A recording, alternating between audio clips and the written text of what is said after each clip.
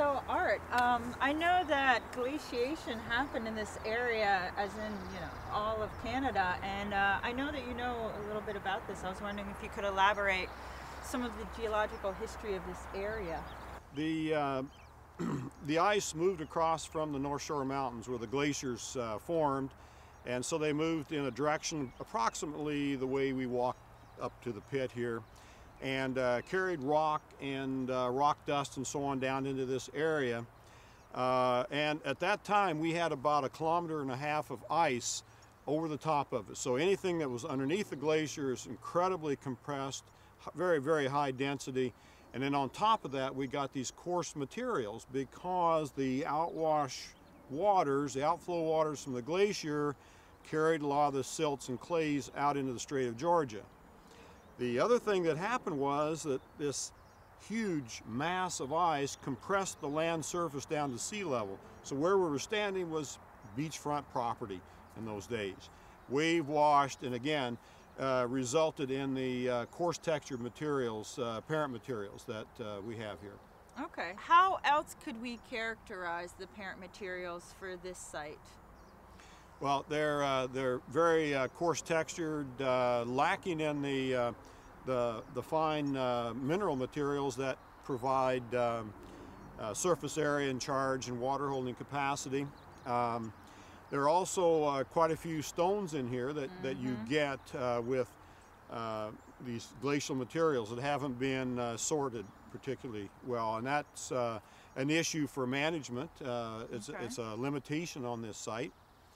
But uh, in terms of podzolization, the podzolization process, we have uh, the main condition, well-drained, fairly coarse textured soils that allow for leaching. Mm -hmm. uh, the other factor that's important is one that we can see in the background that perhaps was visible as we walked up here, and that mm -hmm. is mm-hmm. the coniferous forest. Mm -hmm. And uh, the uh, acidic, uh, the type of um, litter that comes from that added to the process and, and the leaching and acidification process.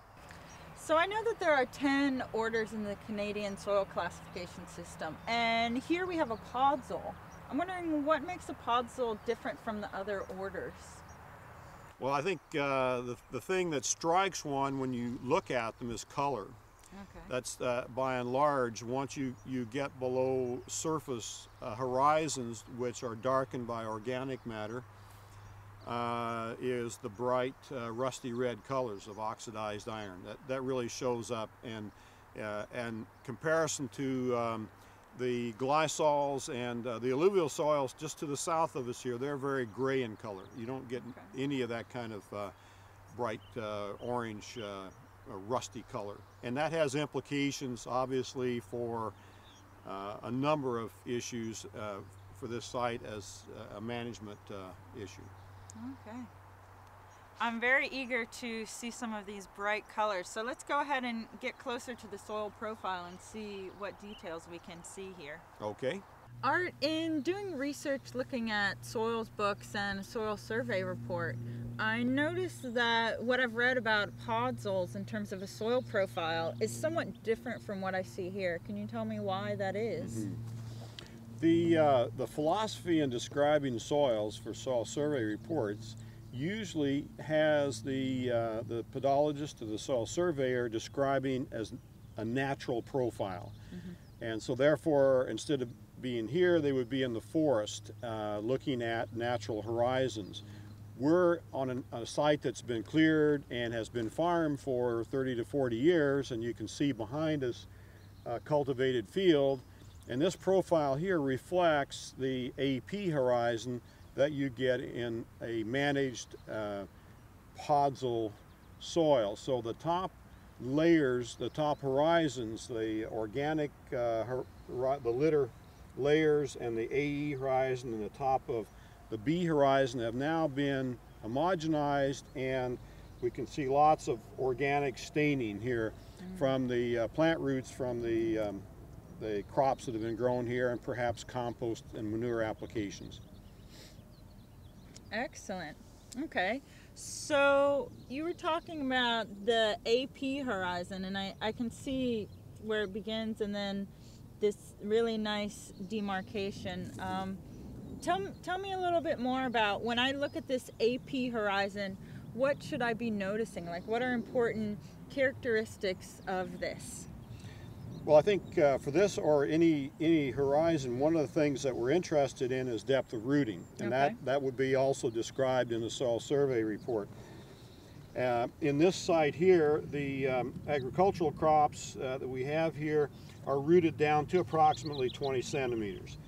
Very few roots extend deeper than that. There are a few places where there are uh, there are deeper organic uh, features that the roots follow, but by and large, they're in the in the top zero to 20, and the decomposition of those roots and so on are uh, contributing to this dark, uh, organic-rich uh, surface horizon here. Mm-hmm. When we get below that, the color change that we observe, it tends to reflect more the iron that has precipitated in that horizon as it has e into that horizon. Yes, the color differentiation here is is striking. Um, can you? So you were mentioning uh, illuviation. T- tell me more about how that impacts the color and and this B horizon. Mhm.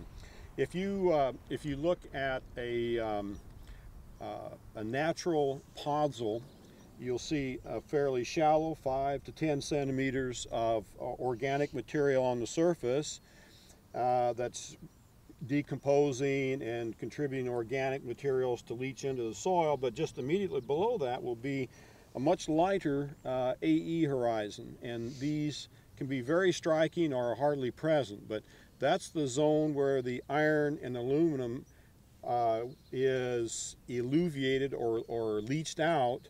And down below that in the B horizon is where it reprecipitates and accumulates. And so the colors then begin to darken up or, or to, to become more rusty, more orange where the iron oxides are, are accumulating. Mm-hmm. When we were digging the pit, we had a rock, and uh, perhaps you could talk a little bit more about You probably hit more than happening one rock in here, Yeah. I would imagine. Uh, many, many rocks. Right. Uh, but this one is, is quite a, a, a useful one for this purpose because you can see uh, the iron uh, oxide precipitation on the surface and you Mhm. can you can scrape that off and see that the, the color of the, of the color of the rock is much Wow. lighter. So that shows the iron that's that's come out of the, the top of the profile and it's reprecipitating down at depth where this rock would have come from originally. yeah. Okay, Rachel, we were just looking at the uh, stone there with a nice um, uh, iron oxide deposit on it, and I think I gave it kind of a, a very general um, uh, color description, but we know that if you look at the soil survey reports that they have much more precise uh, description. So maybe I'll uh, just take a, a piece uh, or, or a, a little sample from the BF horizon and we can uh, let you talk about that.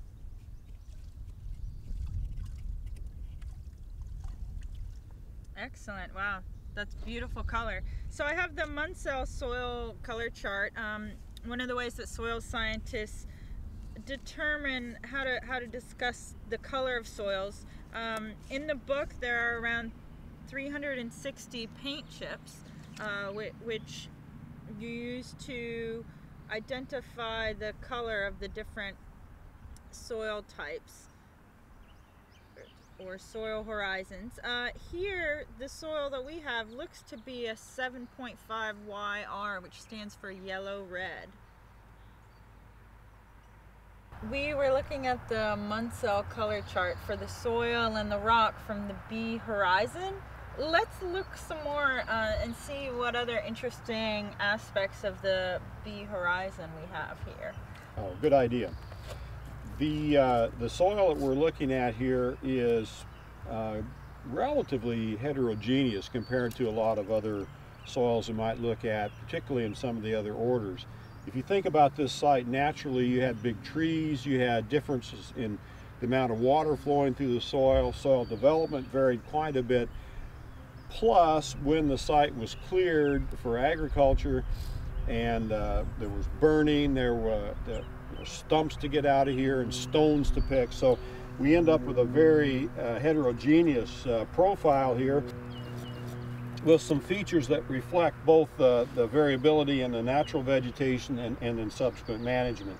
So if we look at the profile, one interesting thing that we see here is bits of charcoal, um, probably left over from the natural uh, forest that would have been subject to fires and uh, root channels uh, would burn very slowly at low oxygen levels, tending to charcoal.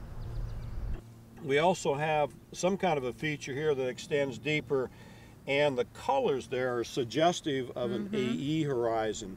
The lighter, uh, more leached horizon that uh, in, in, a natural soil you would tend to find more up here, but this sort of tongues down deeper into the B. When I was digging yesterday, when I was getting to the bottom of the B horizon, it was becoming quite difficult. Um, I couldn't dig any more shovelfuls. Something like that? Yes, exactly. And I don't think it was my lack of upper body strength. Okay. well, uh, we've been talking up till now primarily about the A or the AP horizon in this managed uh, soil and the B horizon. But uh, beneath that, we have a C horizon. And in uh, most soils, that C horizon designates material that is like the A and B, but it just hasn't been uh, subject to the soil forming processes the same way as the A and B. So it would be the parent material with very little modification from the time that the soil processes started. This site here at UBC Farm is uh, somewhat different in that um, underlying the soil profile we have a 2C horizon. Um, it is uh, labeled uh, Roman numeral 2C because it is a different geologic uh, strata. And uh, it's the layer that the glacier rode across and compacted and so the soil forming processes that gave us this podzol uh, did not uh, affect that 2C horizon in this case. A soil survey report also includes information regarding chemical, biological, and physical characteristics of a soil profile. So let's discuss uh, beginning the, with the physical characteristics of this profile here. Okay, the first thing that uh, that you notice here, and I think you enjoyed um, digging around all the rocks in here, and, and that is that uh, these soils tend to have a fairly high uh, proportion of the soil volume occupied by uh, stones and, and gravel. So those don't hold water, they don't hold nutrients, and we need to factor that in, the, the percent uh, coarse fragment content. Then if we look at the, uh, the finer materials, uh, then we would be interested in soil texture. Mm -hmm. Texture being the relative proportion of sand, silt, and clay. And uh, in the field, uh, a person who's describing soils in the field would start by doing a hand texturing. So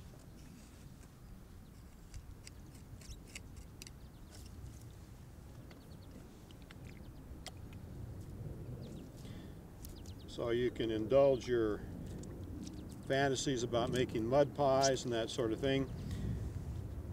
And uh, we do then is to see if it will stick together, if it'll cohere. And so if it does, it will form a ribbon when you do this. And you can see that it doesn't. It falls apart. Okay, so that's indicative of a fairly coarse texture, not much clay. But if I rub my palm, I can feel lots of grittiness. Okay, that's the sandy part of it. Mm. So a good, uh, experienced uh, person uh, who characterizes soils can very closely define the textural class of the soil. The, uh, the, the next um, place to look, uh, the next feature to describe would be soil structure.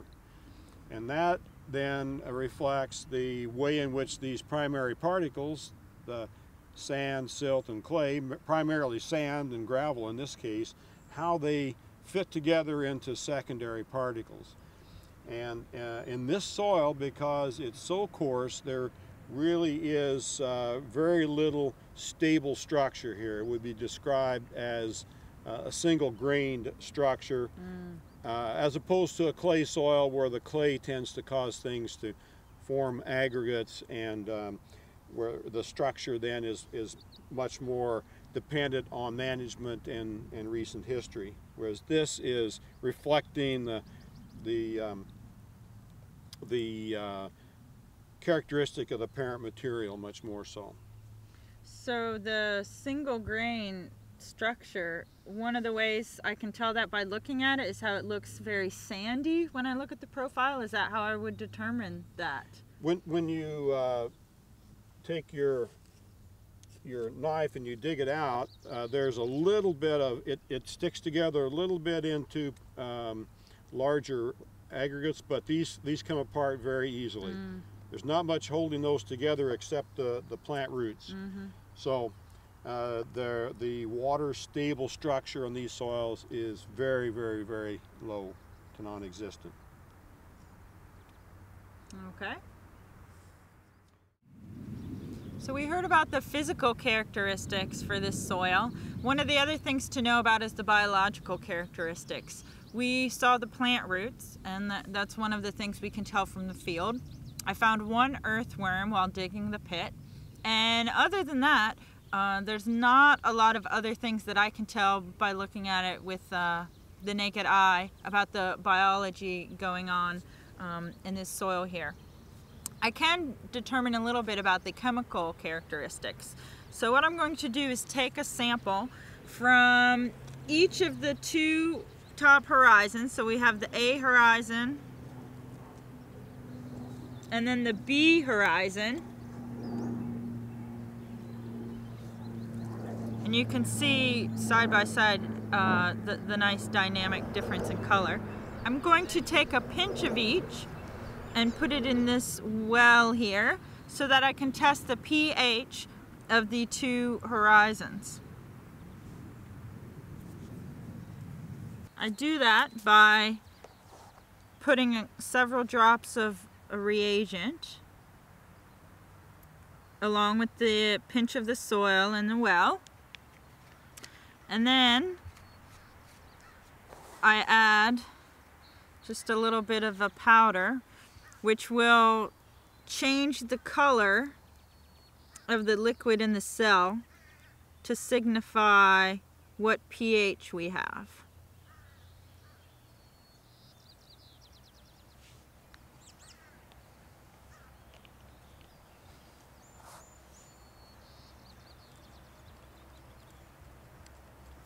So I'm grinding up the powder and mixing. And we'll take a moment for each to let the reaction begin to take place.